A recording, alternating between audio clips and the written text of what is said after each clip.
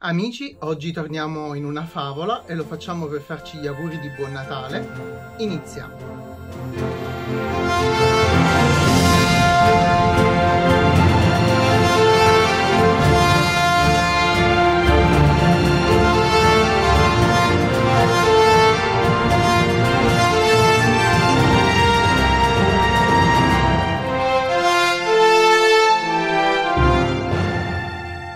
Amici, bentornati sul canale, bentornati su Recenso, la videorubrica di libri, fumetti, manga, film e telefilm. Microfono nuovo perché quello di prima nella puntata precedente lo avrete visto, è morto mentre registravo, quindi speriamo che questo sia il giusto rodaggio per lui, altrimenti sto inguaiato. Detto questo, oggi ci facciamo gli auguri di buon Natale, per chi crede di un santo Natale e di un felice anno nuovo, anche se in anticipo. E lo facciamo con una puntata eh, creata su un vostro suggerimento, perché vi avevo chiesto su Instagram di farmi sapere quale film avrei potuto vedere appunto per commentarlo assieme e farci appunto gli auguri. E mi avete suggerito Pinocchio di Guglielmo del Toro. Quindi questo, anche se possiamo dire inizialmente non sembra per le tematiche trattate, per l'ambientazione in cui questo film eh, gira e viene inserito, non sembra per niente un film natalizio, ma il tema di fondo, quello della famiglia e dell'amore, possiamo dire che rientra benissimo, o almeno uno dei temi di fondo, perché ce ne ha tanti, rientra benissimo in questa atmosfera natalizia. Ogni anno io registro avanti all'albero. Questa volta volta non l'ho potuto fare perché è da un anno e più che mi lamento degli operai qui attorno che fanno rumore. Gli operai ce li ho in casa.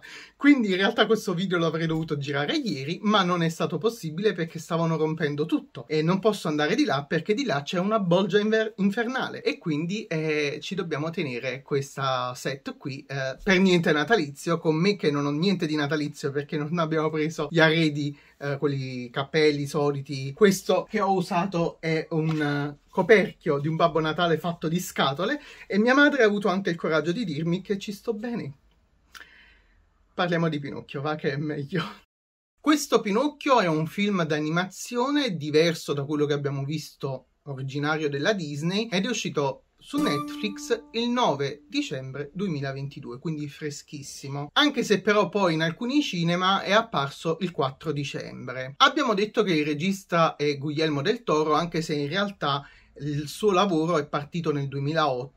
però purtroppo ha avuto una serie di rallentamenti e di impedimenti tali riferibili al budget richiesto che lo hanno praticamente fermato e il progetto sembrava essersi arenato completamente. Finché proprio per la bellezza di quello che era stato studiato e messo su da Guglielmo del Toro Netflix nel 2017 entra in campo e nel 2018 si decide quindi di ripartire con questo progetto. Ci vogliono tanti soldi, ci sono voluti tanti soldi perché Guillermo del Toro ha deciso che questo film dovesse essere girato tutto in stop motion, quindi la tecnica che prevede di vedere scatti che vengono poi dopo messi in sequenza e che quindi riproducono il movimento di bamboline e eh, di tutto quello che eh, diventa sostanzialmente protagonista davanti alla telecamera, che siano quindi i personaggi, ma anche gli sfondi e il set che viene quindi creato. Una tecnica veramente molto complicata e complessa, ma ha una bellezza incredibile. E la storia, però, non dobbiamo immaginarcela come quella appunto di Pinocchio della Disney, perché la storia se ne allontana tantissimo e anche se abbiamo parlato ultimamente di Mastro Geppetto di Stassi per il premio Napoli, anche quello ovviamente lontanissimo dall'ambientazione originaria di Collodi, non possiamo immaginarcelo questo film ancora ambientato in quel Granducato di fine Ottocento, Granducato toscano di Firenze di fine Ottocento,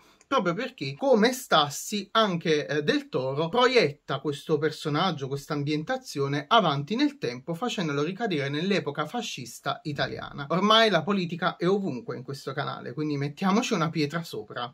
L'ambientazione forse la caratteristica che più fa storcere il naso quando entriamo in contatto con una storia del genere, perché perdiamo praticamente in questo contrasto fortissimo con l'epoca fascista tutta l'ambientazione caratteristica di questa favola, quindi tutta la bellezza, la tenerezza, tutto quello che in pratica la Disney ci ha insegnato ad apprezzare, ma anche quello che stesso Collodi ci ha trascritto nelle sue storie. Ma possiamo dire che questo è un film che si basa molto sui contrasti e sono dei contrasti che ci fanno veramente tanto apprezzare questo prodotto di Del Toro che risulta essere quindi un film veramente molto bello da vedere, non solo per il fascino estetico e lo vediamo dopo, ma anche proprio perché è la storia che funziona in maniera completamente diversa. E infatti è l'inizio a essere completamente diverso perché Mastro Geppetto aveva un figlio di nome Carlo che proprio a causa del fascismo e delle guerre che si stavano combattendo nei cieli d'Italia muore sotto un bombardamento. Da quel momento tutta la bellezza di questo personaggio di Mastro Geppetto va a cadere perché diventa sempre più eh, succube di una spirale discendente che lo allontana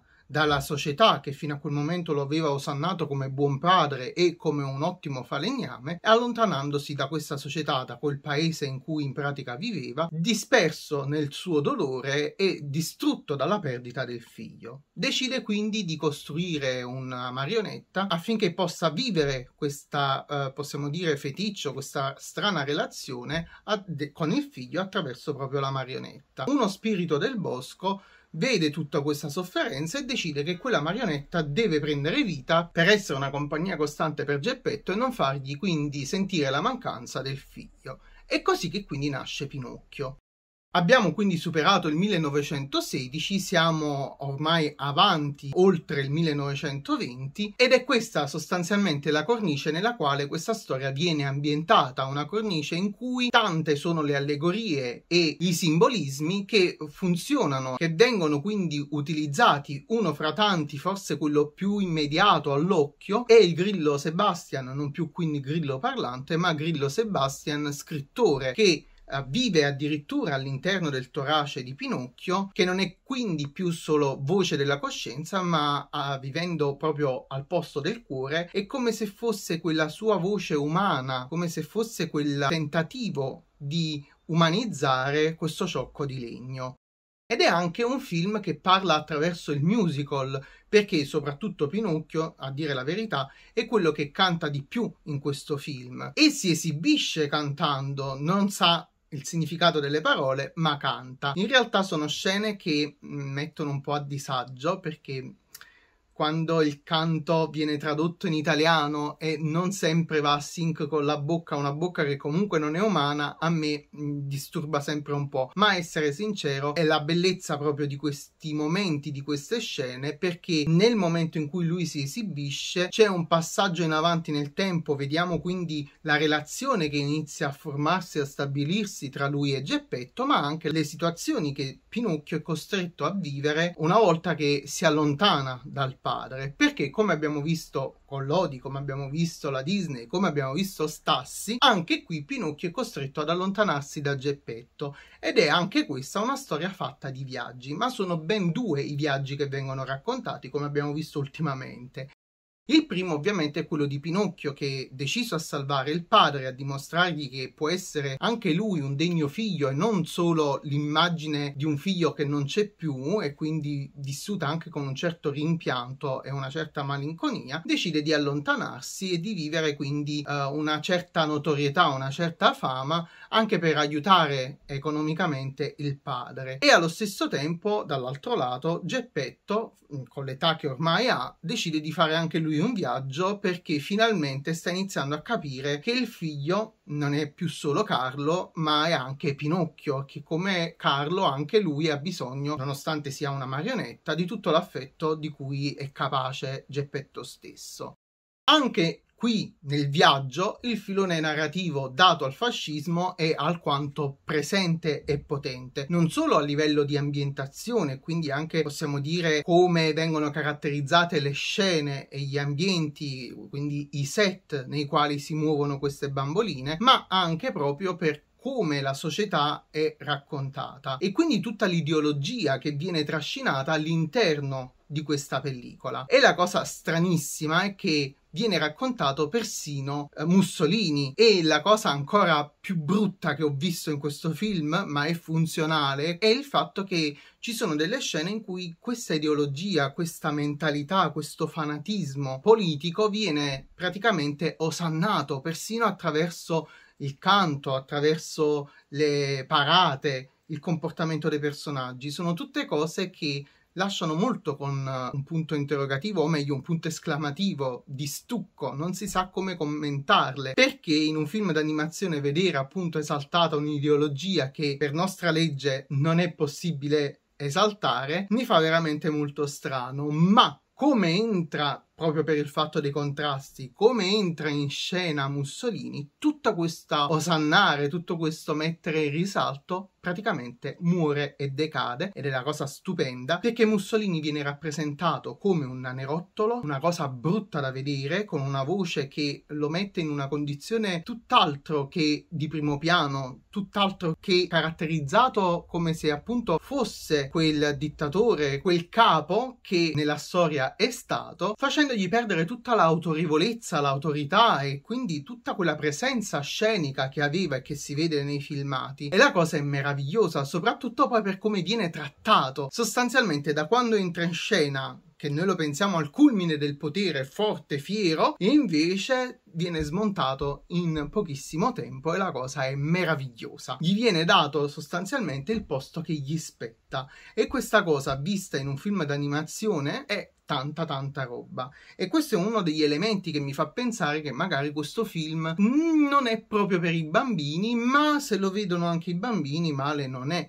E proprio perché non è tanto per bambini, qui c'è un tema che viene trattato tantissimo, che è il tema della morte. Sostanzialmente, già ve lo dissi in passato, la morte non viene mai raccontata ai bambini, perché i bambini devono tenere i paraocchi, non devono vedere, non devono entrare in contatto con la morte stessa. Non si sa per quale motivo, visto che fa parte della vita, visto che chi crede e chi non crede lo sa benissimo che prima o poi si muore, però evidentemente nella cultura moderna la morte è quello spauracchio che meno o meglio più tardi ci entri in contatto meglio è. E invece qui viene raccontata in maniera completamente diversa. Viene raccontata in modo tale che persino i personaggi protagonisti iniziano a morire o arrivano anche loro alla fine della vita con una morte naturale, ma l'unico a non morire inizialmente è proprio Pinocchio, che non essendo umano apre così a una mitologia e quindi a un impianto mitologico che possiamo dire ben caratteristico di Guglielmo del Toro, perché lo vediamo delineare quindi uh, una serie di fantasie, quindi un mondo fantasy che alle volte mi ricorda molto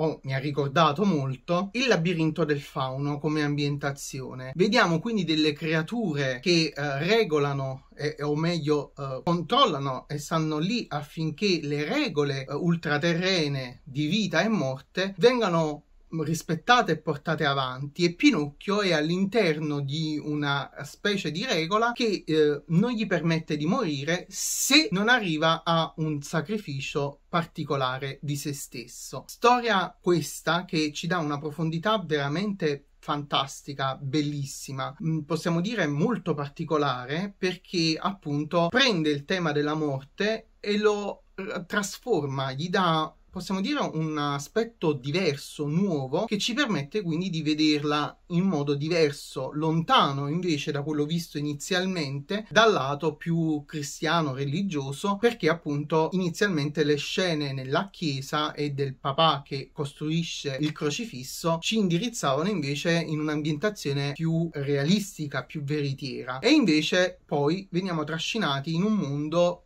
completamente diverso, ma veramente tanto tanto funzionale e possiamo dire anche molto coerente, perché ci sono delle regole, non ci vengono raccontate e spiegate tutte ovviamente, ma sono delle regole importanti che regolano appunto anche stesso la trama e creano le occasioni e le opportunità con cui quindi questa si possa sviluppare. E Pinocchio fa parte di questo possiamo dire passaggio di questo flusso di eventi. È quella nota magica che inizialmente non sembra apparire nel film non solo perché l'ambientazione è quella storica dell'Italia dei primi anni 20 del Novecento ma anche proprio perché sembrava tutto caratterialmente car- caratterizzato anzi in un mondo realistico. E invece la nota di magia viene inserita piano piano a piccole pennellate ed è una cosa molto affascinante devo dire. E questa forse è proprio una delle note caratteristiche della regia di Guglielmo del Toro che io apprezzo di più Però appunto è un film di contrasti, contrasti che si vedono benissimo anche in quelle che sono le relazioni umane, quindi al di là della caratterizzazione dell'ambiente, della storia, del contesto storico, sono proprio le relazioni umane che diventano protagoniste in alcune scene nelle quali si vede quindi come ci si rapporta l'uno con l'altro, anche padre-figlio, e allo stesso modo quindi questo padre e questo figlio in relazione con Pinocchio, perché appunto vediamo una relazione completamente diversa tra Pinocchio e Lucifero che viene studiata sotto aspetti nuovi, quella cameratismo, quell'essere amici in maniera differente, con quella rigidità ereditata dal padre e quindi anche dal contesto fascista, a dispetto invece di quella bonarietà, di quella bontà che è di Pinocchio, che non conoscendo gli schemi sociali e quindi tutto quello che è precostruito dall'uomo, questa impalcatura che non si tiene in piedi, lui ne è lontano e quindi riesce a percepire in maniera diversa le persone e anche a comportarsi nelle relazioni in maniera differente. E le scene con Lucifero sono veramente emblematiche di tutto questo. Questi contrasti ovviamente vengono portati non solo nella narrazione degli eventi, ma anche nella narrazione per immagini. Ci troviamo avanti quindi a una fotografia che spesso e volentieri illumina tutto proprio con contrasti di luce e ombre potentissime, fortissime, mostrandoci scenari quasi possiamo dire spogli, crudi e allo stesso tempo potenti in quello che raccontano, molto evocativi, ma anche stesso il modo con il quale le bamboline dello stop motion vengono costruite e realizzate ha un qualcosa che in un modo o nell'altro ci ricorda questo contrasto, perché ad esempio tutti i personaggi sembrano molto più rigidi e molto più legnosi, ad esempio di Pinocchio prendiamo ad esempio già solo la barba di Mastro Geppetto che nei movimenti, nei sobbalzi, in tutto quello che succede rimane rigida, praticamente fa giusto qualche movimento, ma è fissa, intagliata, veramente statuaria. Mentre Pinocchio dall'altro lato è un personaggio molto dinamico, molto movimentato, molto fluido rispetto a quello che invece è la controparte umana, che uno si aspetta dinamismo dalla parte di carne e ossa e una certa rigidità invece nella parte di legno. E tutto questo viene ribaltato, almeno questa è la mia impressione. Per di più, gli occhi sembrano essere delle sfere, gli occhi e le palpebre, inserite all'interno della scatola cranica dei personaggi un po' alla bambola assassina. E questa cosa mi mm, strania un po' inizialmente perché rende i personaggi poco credibili, poco affascinanti, ma il contrasto con Pinocchio devo dire che funziona benissimo perché lui ovviamente non ha degli occhi sferici ma intagliati nel legno e sono molto più comunicativi alle volte degli occhi degli esseri umani.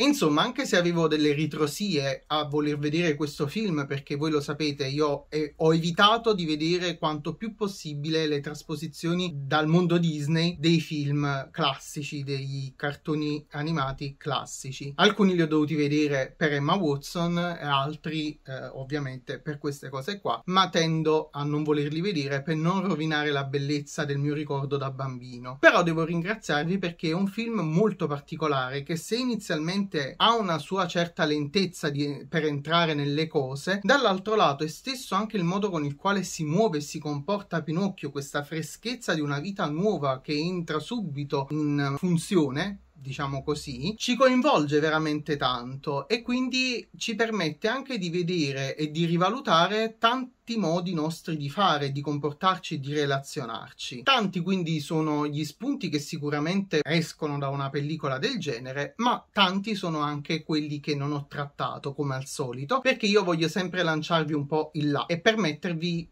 e permettere anche a me di uh, vedere punti di vista diversi. Quindi io vi ho detto la mia, quello che mi ha affascinato di più, quello che mi ha convinto di meno, ma dall'altro lato aspetto poi ovviamente voi nei commenti qui sotto ditemi cosa vi è piaciuto, qual è la caratterizzazione che più ha funzionato secondo voi, quella che meno invece vi ha convinto o anche stesso il modo con il quale sono state creati i personaggi, con quello che hanno vissuto, se magari vi aspettavate una fedeltà maggiore o completamente lontana dalla storia di Collodi e dalla storia della Disney o se invece non vi siete avvicinati al film senza nessuna aspettativa e quello che avete visto vi è piaciuto e vi sta bene così. Ditemelo ovviamente nei commenti qui sotto, vi aspetto. E ovviamente, visto che mi amarete che ci sto bene, eh, vi faccio ancora i miei più cari auguri di un buon, felice e sereno e soprattutto santo Natale e di un buon, buonissimo anno nuovo. E come sempre questo